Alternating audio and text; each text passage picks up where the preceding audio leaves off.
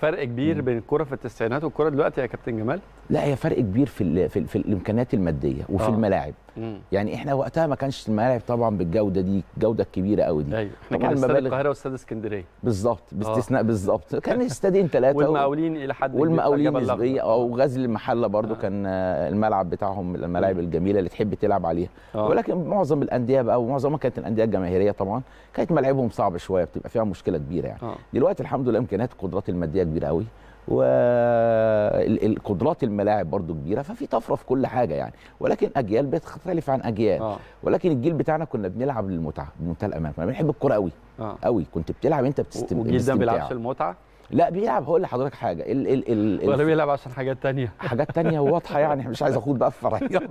واضح جدا يعني. لا العامل المادي خلاص غلب على الكورة. وغلب على ال يعني ال- ال- ال- المتعة بتاعتها. إنما ما فيش شك إن اللعيب من حقه طبعا كل لعيب من حقه إن هو يدور على مصلحته ويدور. على المقابل بتاعه ولكن برضه ما يغفلش حاجة مهمة جدا. آه. التاريخ التاريخ هو اللي بيبقى متواجد.